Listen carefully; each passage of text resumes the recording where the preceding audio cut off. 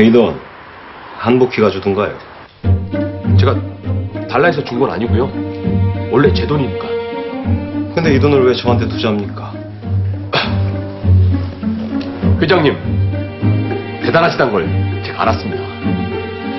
그래서 저 원래 처음부터 회장님 뵈려고 서로 올라온 겁니다.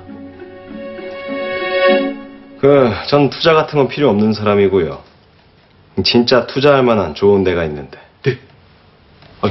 거기가 어딘가요? 아, 저한테도 정보 좀 주시겠습니까? 얼마죠, 이게? 어, 500입니다. 그 한복희는 왜 양 선생님께 이 돈을 돌려줬을까요? 아, 복희도 알고 있거든요. 제 생돈 500을 사기꾼한테 날린 거를. 고모부라고 하셨죠. 아, 네, 저, 친 고모부는 아니고요. 뭐 아시겠지 모르겠습니다만은 저 복희 엄마랑 제 처남분하고 그러니까 양조장 그 사장님하고 재혼하시면서 그럭저럭 제가 고모부가 된 거죠. 한복희가 뭘 하면서 이 돈을 주던가요?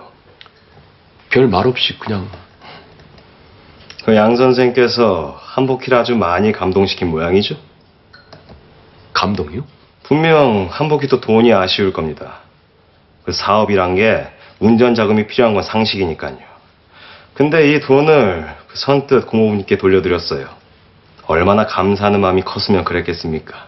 아, 아, 뭐, 그게 저, 아, 아, 그게 제가 좀 얘는 썼습니다만은, 아, 한복희요. 사람 보는 눈이 있습니다. 그 양조장에서 아마 가장 믿고 의지하는 분은 양 선생일 겁니다.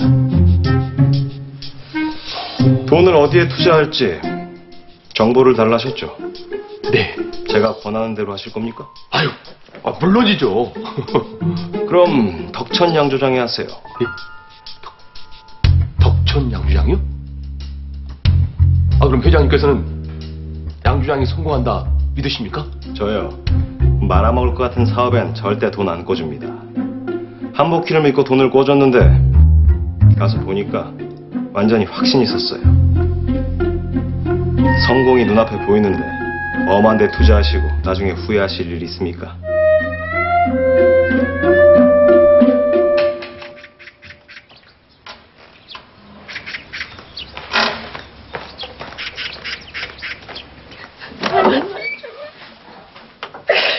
아지? 어메. 아이고, 공주야. 어떻게 네가 밥상을 직접 그렇게 들고 오냐? 어? 이거 어. 내가 끓인 거야. 좀 먹어봐. 아이고 참. 황송해서 어쩔까? 무슨 소리야? 나는 네 앞에서 애기 뵌 것도 미안 실화야. 아니 별 소리를 다 한다. 이거부터 좀 마셔.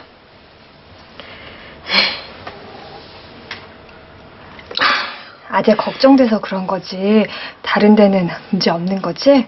내가 우리 만드기한테 이 얘기했다.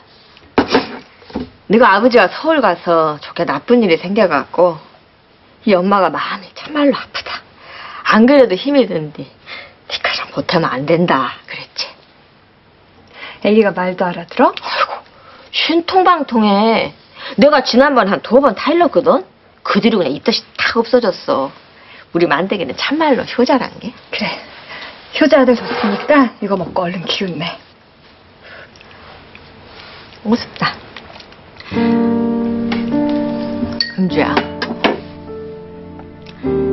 너 내가 영표를 참말로 좋아하는 거 알지? 내가 영표 그것을 어릴 때부터 업어서 키웠다.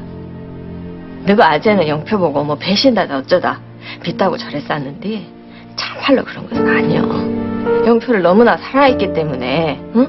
그 배신감 때문에 섭한 마음으로 그러는 거예요. 영표도 아재 마음 알 거야.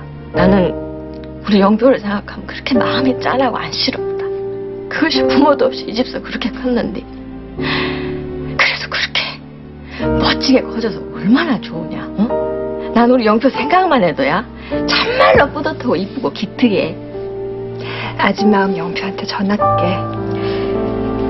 그리고 금주야 이 아줌은 그런 생각을